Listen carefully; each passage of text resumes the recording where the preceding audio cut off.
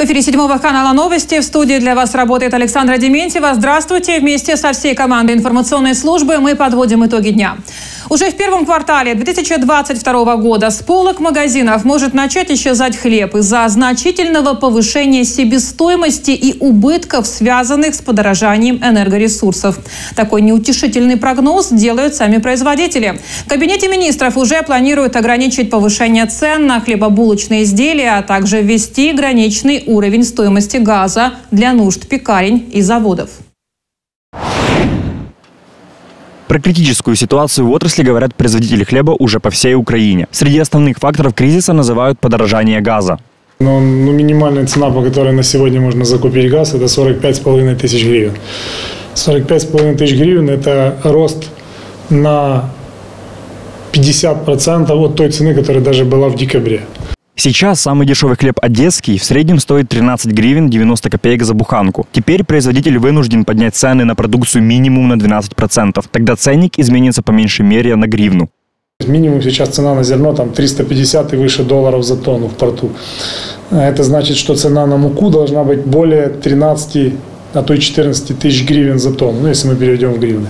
Это и массовый хлеб, такой как обеденный, в частности, является для нас на сегодняшний день уже убыточным, только на основании того, что мука очень дорогая.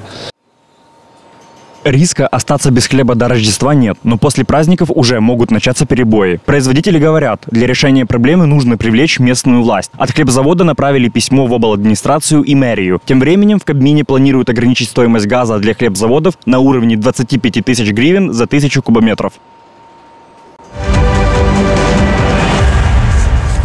Без изменений в апелляции оставили меру пресечения для заместителя мэра Одессы Олега Брендака. Напомним, его подозревают в злоупотреблении служебными обязанностями и участии в схеме с выделением почти 16 гектаров под застройку в результате чего бюджет города потерял более полумиллиарда гривен.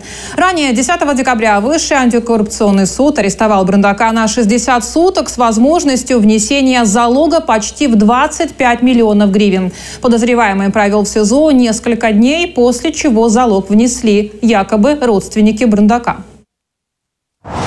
Для того, щоб апеляційна інстанція, це ж великі суми, це ж не то, що 100 гривень чи 200. Вона не може на мільйон. Вона повинна встановити явну несправедливість судового рішення. Мені ж треба аргументувати, щоб змінювати, скасувати. Це ж не просто проговорити, поговорити. Из-за шквальных порывов ветра и обледенения без света остаются 20 населенных пунктов в области. Об этом сообщают в ДТЭК Одесские электросети. Больше всего пострадали Белгород-Днестровский, Одесский и Раздельнянский районы. Аварии продолжают ликвидировать 30 бригад. Это более сотни работников и 30 единиц техники. Из-за непогоды энергетики также попадали в снежную ловушку. Понадобилась помощь спасателей и спецтехники. В целом, за первую половину дня сотрудники ГСЧС извлекли из заносов четыре машины, среди которых и грузовик. Также оказали помощь э, шести людям в Березовском, Подольском и Одесском районах целом, как сообщает служба автомобильных дорог в Одесской области, проезд по дорогам государственного значения обеспечен. Более 85 единиц спецтехники продолжают очищать дороги от снега и обрабатывать покрытие противогололедными материалами. Під ранок е, ситуація трошки покращилась, погода вирівнялась. Е, був там ще один сніжок, скажімо так, який тільки но прочищено вже дорогу М05 Київ-Одеса в районі. Старих маяк та Кривого озера вже було розчищено, як він знову під ранок пішов і е, підсипав. Е, продовжуємо працювати. Я думаю, що у разі, якщо не буде більше якихось складнень, а вони поки що за прогнозом не передбачаються, то можна буде вже повністю відновити комфортний, безпечний сухий рух е, під вечір. Социальную прачечную для бездомных открыли в приюте Деполь на Дальницкой. Кроме того, к заведению подвели собственное водоснабжение и закупили стулья и столы для ожидания. Подробности смотрите дальше в сюжете приюте для бездомных Деполь на Дальницкой открыли социальную прачечную. Каждый день через баню заведения проходят не менее 15 нуждающихся. Поэтому одной стиральной машины, которая находилась там до того, было мало. В комплекте со стиральными машинами закупили и сушилки, чтобы бездомные могли выйти из приюта на мороз в сухих вещах. Е, І потрібно нам просто закупати одяг, закупляти. І тут, якби ну тому, що бракує, бракує нам е, фінансів.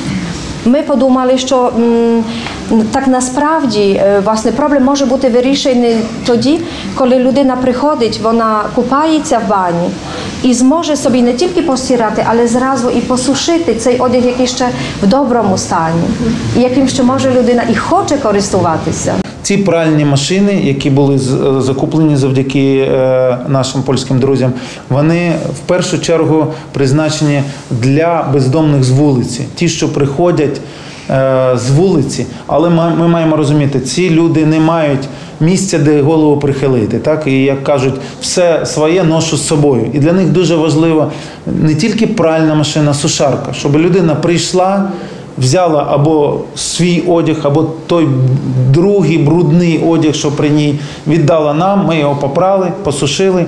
Больше двух лет назад Сергей попал в аварию и остался без ноги. Впоследствии уже не в состоянии работать, потерял кров. Несколько недель назад нашел себе убежище в Деполе. Вместе с ним в комнате проживают еще 9 бездомных, поэтому, чтобы постирать одежду, приходилось занимать место в очереди.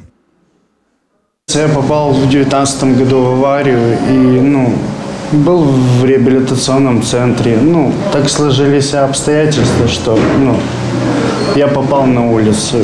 О приюте мне возле церкви рассказал, ну, человек, что я могу прийти сюда, там, побриться, помыться. Сам приют финансирует Министерство иностранных дел Польши. Кроме двух новых стиральных машин и сушилок, заведению провели водоснабжение, которого не было до этого. Закупили новые фены и стулья со столами, чтобы люди могли в комфорте ожидать, пока их вещи постирают и просушат. На все это поляки выделили приюту 27,5 тысяч евро. Евгений Мигли, Евгений Ячменцев. Седьмой канал.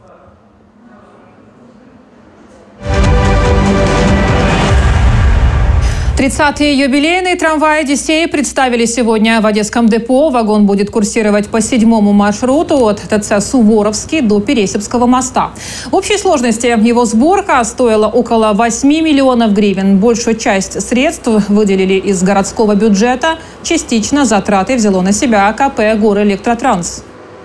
Мы начали модернизацию трамвайных вагонов с 2016 года. Тогда там сумма модернизации одного трамвайного вагона была в районе 6,5 миллионов гривен. Сейчас она, по-моему, там в районе 7,5-8 миллионов гривен, что существенно дешевле, чем похожие покупка новых таких же трамвайных вагонов на рынке. И таким вы увидели этот день корреспонденты седьмого канала. Следить за новостями всегда можно на нашем официальном сайте и в социальных сетях. А если вы стали очевидцем интересного события, звоните по телефону 726 32 26. Оставайтесь с нами, ведь это наш город и ваш седьмой канал.